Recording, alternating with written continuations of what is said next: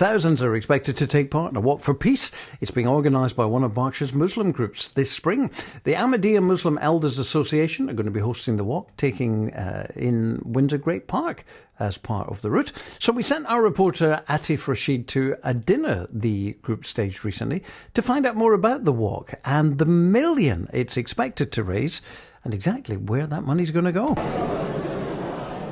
At this dinner, food is only of secondary importance because peace is high on the agenda, as chairman of the event, Zahir Ahmed, explained.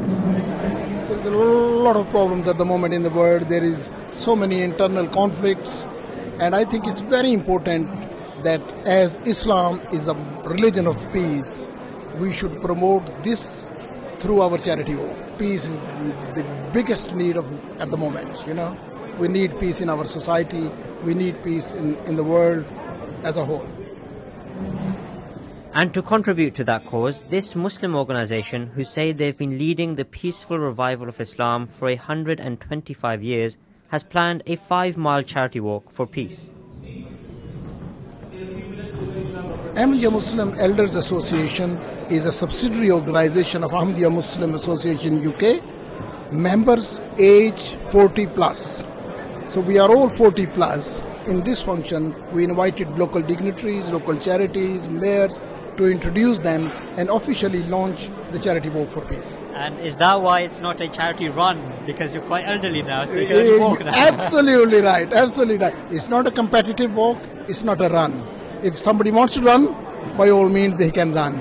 Sometimes the youngsters join us say, "Can we run?" Yes, you can run. But as it's not a competitive walk, there is no first, second, third at the end. You know, it's just a token walk, just to show the support and uh, solidarity to, to the charities. Thank you very much. 364 charities are being supported so far, and they really depend on these kind of events, as Derek Good told me. My wife here set up a charity 10 years ago, to help to help people or couples, one of whom has dementia.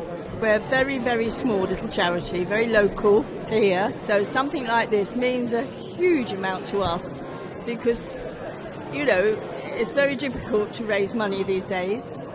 And I just appreciate so much. I'm really looking forward to us trying to raise as much as we can. And it does mean to little charities like us, it means a huge amount. People like us who run small charities. Nigel King is the charity walk coordinator for Runnymede Council. There's a very fine line I've found working on community services within Runnymede Borough Council.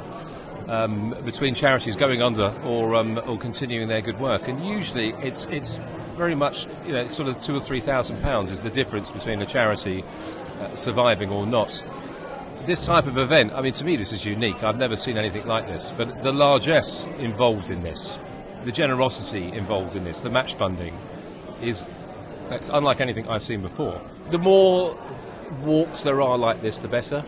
I think uh, amongst some councillors, I, I, noticed there there was a bit of concern whether it be political or what have you. This has nothing to do with politics. It's just purely about humanity and people and communities coming together and the strength that we can gain from one another.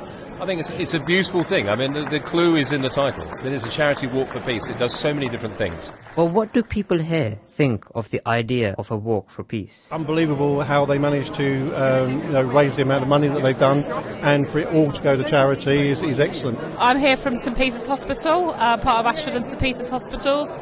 So we're going to be organising a team to walk in the Walk for Peace to raise money for the hospital. So it's fantastic. It's a, it's a great event and a great charity. I think the more people come together at events like this, the more we can do towards peace. The purpose of it is absolutely fantastic. I think the ideas that people are coming up with are fantastic.